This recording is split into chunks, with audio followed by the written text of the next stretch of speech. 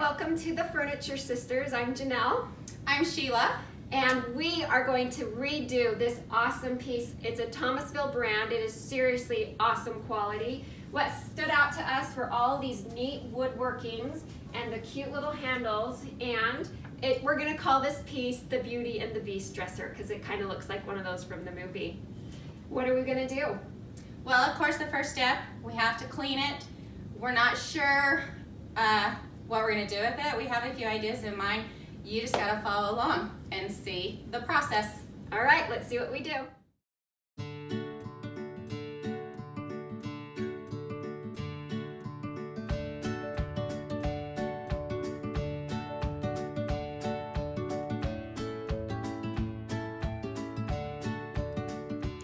When you have old pieces like this, there is so much dirt and dust and typically a few spider eggs and a few um, spider webs in here. So we like to take our shop vac and really get in every single part of the piece. And then we label the drawers so that they go in the exact same way. Sometimes if you put the drawer in the wrong way, it doesn't work. All right, so after we've cleaned, we uh, deep clean the piece. We either use a soap and water mixture with a green sponge. This piece we use a spray called Krud Kutter.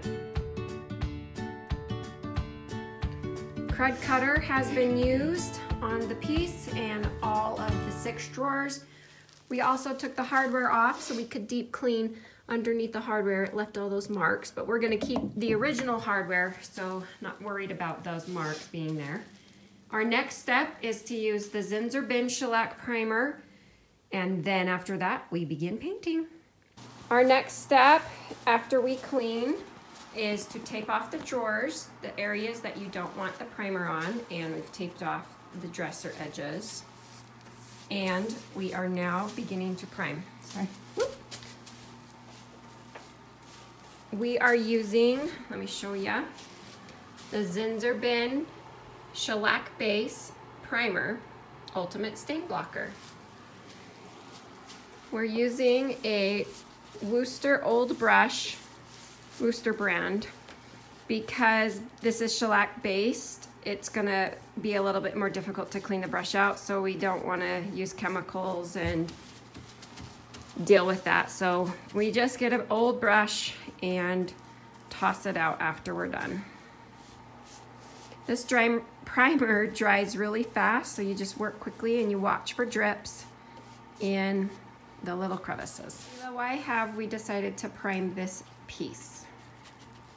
We are priming it to prepare it for paint. We're planning on using a light gray on this piece, so we don't want to run the risk of this dark stain bleeding through our paint.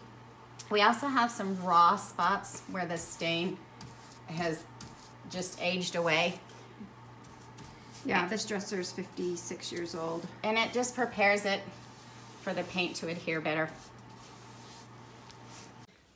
Then we're gonna use this Staalmeester brush. This is a one series brush. Love it. It gives a really smooth finish.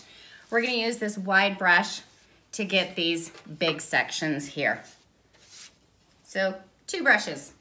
We're gonna use the brand Rust-Oleum chalked paint, and this is gonna be the color Aged Gray. When Sheila opens this up, she's gonna stir it up, and then we're gonna pour into our cottage cheese containers. The reason we do that is so that we don't contaminate the entire can of paint. So we like to spray our paint brushes with water as well. You'll get a smoother application when you do that.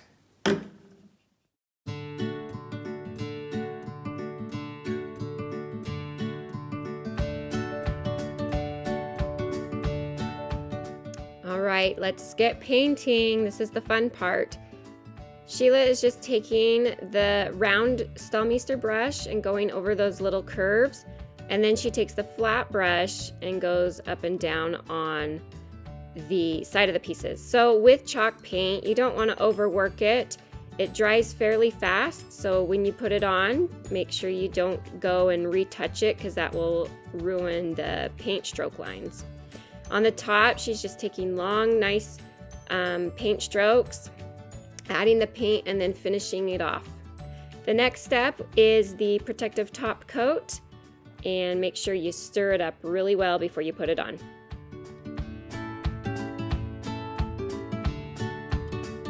We are using Rust-Oleum's top coat. What's it called? Rust-Oleum Chalked Protective Top Coat. Matte Clear. And we're gonna put two coats over this entire piece.